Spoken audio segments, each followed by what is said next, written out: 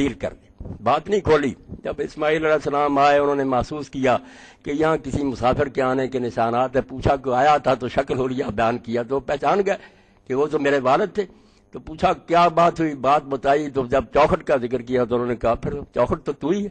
वो मुझे इशारा कर गए कि मेरी तो उम्र गुजर गई, अल्लाह की तकदीर के सामने सर झुकाते और शुक्र गुजारी करते। तेरे घर में ऐसी औरत, उसको छोड़ा, बाद में दूसरी बीवी की फिर आप कभी आए, फिर इसी तरह हुआ। मगर वो बहुत अच्छी बच्ची निकली। उसने कहा अलहमदिल्ला बहुत अच्छा वक्त गुजर रहा। आपने फिर बरकत के लिए दुआ की। दो ही चीज़ें थी गोश्त था ये पानी था दमदम का, इन दोनों के लिए दुआ की। हजूर सल्लल्लाहु वसल्लम फरमाया, अगर गला भी होता तो उसके लिए भी करते, गला तो मक्के में नहीं था।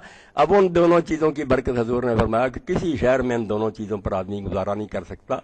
मक्के में अगर सिर्फ़ सारी उम्र यही दो भी खाता रहे ना, अनाज ना भी खाए तो ये उसको नुकसान नहीं पहुंचाएगी। तीसरी मरतबा जब आए उस वक्त इस्माइल सलाम फिर दरख्त बैठे नीचे बैठे थे अपने तीर ठीक कर रहे थे।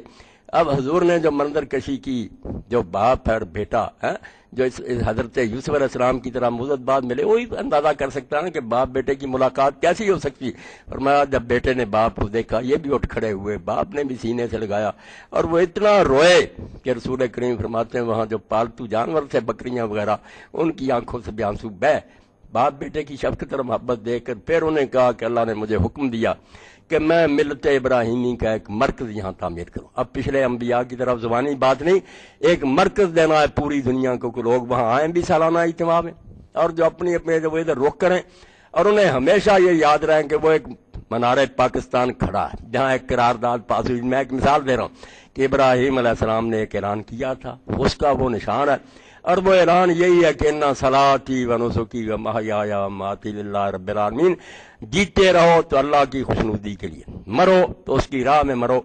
ये है वो मिलत इब्राहिम जिसके बारे में अल्लाह कहता, भाई, लोग कई रास्तों पर चल रहे हैं। कोई जानवरों की तरह जी रहा कोई गारों में जाकर राह बन गया। सही तरीका उस शख्स का है जो अपने आप को मुकम्मल अल्लाह के हवाले कर दे, नेकोकार बने। और इसके लिए नमूना और मिसाल अपने सामने इब्राहिम सलाम की रखे। और इब्राहिम सलाम का सबसे बड़ा वस्फ हनीफ है कि वो यकसू हो गया था। उसमें कई रंग नहीं थे और इब्राहिम सलाम को इसीलिए अल्लाह ने फिर अपना सबसे बढ़कर दोस्त बनाया। इसलिए जो लोग चाहते हैं कि मिलते इब्राहिम की पैरवी करें, अल्लाह की खुशनुदी का सामान करें, उनके लिए ये राह है भी माकूल और दलील मैंने अर्ज़ कर दी कि अल्लाह ने साथ ही आज मेरा दी कि ज़मीन व आसमान अल्लाह का हर शय उसके काबू में इसलिए उसकी बगावत करोगे तो उसकी सल्तनत में कोई जल्दला नहीं आएगा। जैसे रसूल करीम सलाम फरमाते ना कि पहले, पिछले जेनर इंसान सारे, अगर सबसे बड़े मुतकी जैसे हो जाए ना, सबसे बड़े परहेजगार तो अल्लाह की बादशाही में एक मच्छर के पर बराबर इजाफा नहीं होता। उसकी सल्तनत हमारी बातों से कायम नहीं। और अगर सारे बन जाए अफजर बदकार से बदकार तो एक जर्रा बराबर उसकी हुकूमत में खलल नहीं आता। वो अपने ज़ोर से कायम है। लिल्ला है माफ़ समावत है माफ़ और सारा जहान है उसके बस में। अब तो हमने देख लिया ना। अब कहते इतने हज़ार जो एटम बम वो फटा है समुद्र के नीचे, हा? तो एक ही लम्हे में मुल्कों के मुल्क तबाह कर ली अगर अल्लाह कुरान में कहता ना, पहाड़ उड़ जाएँगे और समुद्र छा जाएँगे। हम नहीं मानते थे। अब देख ली। एक लम्हे में भी कर देता। अब सब कुछ आप क्या कहते फिरते? तो फरमाया उस खुदा से टक्कर ना लो। उसके बागी ना बनो। तस्लीम और रजा अपना लो कि अगर शरीयत का हुक्म आए सरे तस्लीम। और अगर तकदीर की तरफ़ से कोई हादसा आ जाए तो रजा। खुश रहो कि जो वो कर रहा, बेहतर कर रहा। और इसके लिए बेहतरीन मिसाल वो है, जो इमाम मालिक रहमतुल्लाह ने बयान फरमाई है मतन, कि बनी इसराइल का एक आलम था दर्श देता था, लोग उससे बड़ा दीन सीखते थे। उसका एक जवान बच्चा था, फौत हो गया। हादसे पेश आते थे हादसों से बच ही नहीं सकता। इतना गमगीन हुआ कि उसने हुजरे का दरवाज़ा बंद कर लिया और लोगों से मिलना छोड़ दिया, दर्श भी छोड़ दिए।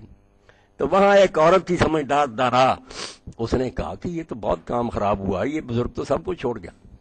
वो एक दिन गई, दरवाज़ा खटखटाया, उसने पूछा, कौन है? उसने कहा, मैं कल्ला की बंदी हूँ, एक मसला पूछना। उसने कहा, बताओ। तो उसने कहा कि, मेरे जो हमसाए ना, मेरे पास कोई जेवर नहीं था। मैंने हमसायों से शादी का एक मौका आया। मैंने उन्हें कहा, हम जरा थोड़े दिन के लिए मुझे जेवर दो। उन्होंने दे दिया एहसान करके। मैंने वो जेवर पहने, मेरा वो फ़ंक्शन गुजर गया। अब वो वापस मांगते हैं, मेरा देने को जी नहीं चाहता। आप मसला बताएँ कि मुझे देना चाहिए। उसने कहा अल्लाह की बंदी, दे भी, वापस और एहसान मान। कितने दिन भी अगर बरतने के लिए तुझे दे दिया तो तेरा कोई राइट तो नहीं था। उनकी मेहरबानी। तो उसने कहा, अगर ये बात ठीक है तो आपने दरवाज़ा क्यों बंद कर लिया? कितने लोग हैं जिनको अल्लाह बेटे नहीं देता? वो अल्लाह का कुछ बिगाड़ देते? आपको अल्लाह ने दिया कुछ दिन आपने बाहर ले, देख ली, वो ले गया अपना बच्चा। आप क्यों दरवाज़ा बंद करके बैठ? उसी वक्त दिल से सारा जो गुबार था, उतर गया। होश आ गई कि हमें अल्लाह के बन कर रहना चाहिए। इन्ना उसके यहाँ जो वो करता है, हमें एतराज़ का क्या हक तो मिलत इब्राहिम जो है उसका निचोड़ यही और ये अल्लाह ने नस्बत इसलिए दी, मैंने अर्ज़ कर दिया कि पिछले अम्बिया इतने कामयाब नहीं हुए जिसने इब्राहिम आप और अपनी औलाद के ज़रिए बेशुमार इलाके हैं जिनको आपने मुहद बनाया। और इसीलिए आपका ही बनाया और मरकज सारी मिलत इस्लामिया के लिए अल्लाह ने उसको हज का मकाम बना दिया और हमें भी हुक्म दिया कि उसकी तरह रुख किया करो बातों में। तो अल्लाह तोफीक दे, मिलत इब्राहिम से बेहतर तरीका कोई नहीं कि अल्लाह के हो जाओ। हैं भी अल्लाह के जो नहीं भी बनेगा, काफर बना रहेगा, वो एक हकीकत का इनकार करा, है अल्लाह का ही। जिस दिन अल्लाह चाहेगा, ले जाएगा, उसको पता चल जाएगा कि कान अल्लाह बिकुल शाह मुहिता। है तो हर शाह अल्लाह के काबू में थी मैं खाम खाई गुब्बारा बना फिरता था। वाखिर उदावन अलहमदिल्ला रबालमीन वसल्ला तला खैर खल के सैदना मौलाना मोहम्मद वसाब अजमैन अल्लाह आप सब मेरे बच्चों बच्चियों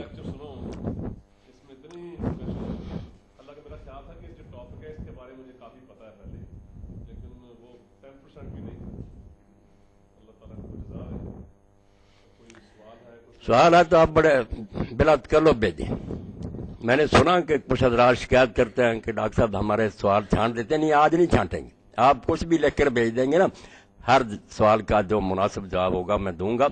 आप दें। हाँ यही होना चाहिए। कोई ऐसी बात फितने की नहीं होनी चाहिए। आप ऐसी चीज़ें पूछें जो आपकी ज़रूरत की हैं। हाँ, सारे साथियों को उससे फ़ायदा भी पहुँचे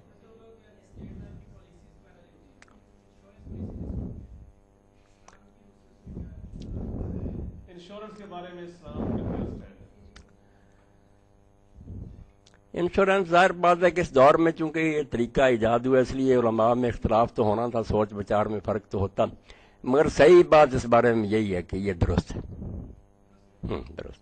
जो अच्छे अच्छे उलमा ना इस दौर के उन्होंने पूरी तरह छानबीन खराबियाँ तो है ही हर चीज़ में पूरी तरह तो खारिज कोई नहीं है।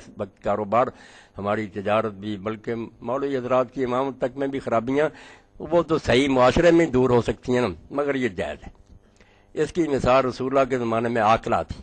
इसमें सूदी कारोबार वगैरह यो जाने, या उनका काम मिसाल है। आकला ये होती थी कि एक आदमी से कत्ल खता हो जाए ना, जानबूझ कर नहीं, गलती से मारा गया। अब इस्लाम नहीं चाहता कि जिनका एक फर्द मारा गया, उनका भी हर जो उनको भी कहा कि सौ ऊँट जो है ना, तावान देना पड़ेगा। मगर इससे भी गलती से मारा गया, इस पर नहीं डाला कि इसने जानबूझ कर नहीं मारा। तो ये फिर तीन किस्तें करनी कि तीन सालों में जो उसकी आकला है ना, बरादरी, उनके जो बालग आदमी ना वो सारी रकम इकट्ठी करके उसको दें, ताकि इस पर से भी बोझ उतर जाए और उन लोगों का हर जाना भी पूरा हो जाए। इसको आकला कहते हैं। हज़रत उमर उद्दीन के ज़माने में जब दफ्तर बन गया, इस तरह महकमे, उन्होंने फिर वो कबायली सिस्टम ख़त्म करके ना महकमों पर तकसीम कर दिया कि छोटे मोटे जो मुलाजम उनकी तनख्वाहों से वो काट लेते थे और लोगों को दे देते थे। तो है तो अच्छी शक्ल। मगर ये इसलिए पेश आई है ना कि हमारे इस्लामी माशरा नहीं, बैतुल माल नहीं। वरना अगर सही बैतुल माल हो तो वहाँ तो पूरा मुल्क मेरे बच्चे इंश्योर्ड होता है वहाँ किसी को परवाह नहीं होती जो मालदार हैं, वो प्रीमियम देते हैं। बैतुल माल में वो जमा होता रहता है हाउस में। और जो बेचारे कमज़ोर होते हैं, उनको परेशान होने की लोड़ नहीं, उनको अपने आप मिलता। रसूला तो वफात पर भी कह देते थे ना कि जो वफात हुआ है माल उसके के मालिक वारस होंगे। और अगर वो कर्ज छोड़ गया तो बैतुल माल में अब इतनी इस्तात है, कर्जा हम देंगे, हुकूमत देती थी लोगों कर्जे।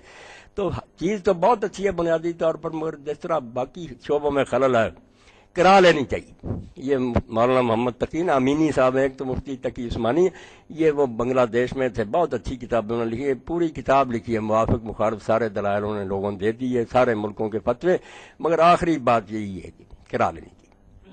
ज़रूरत इसकी बहुत बढ़ गई है क्योंकि हम देखते हैं इधर गाड़ी लेकर आदमी निकलता है बाहर ही पिस्टल लेकर खड़े होते हैं। जी।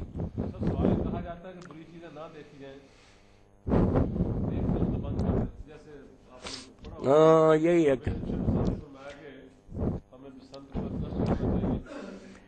आप देख लें ये सवाल आया है। हाँ, ये देख लें कि ये आज जो कारम लिखा ना इरफान सिद्दीकी ने, उसने कहा, ये बिल्कुल सदर साहब, आपने बहुत अच्छा नुस्खा बता दिया कि अगर डॉक्टर शादिया खालब को इंसाफ नहीं मिलता तो इस मुल्क से चली जाए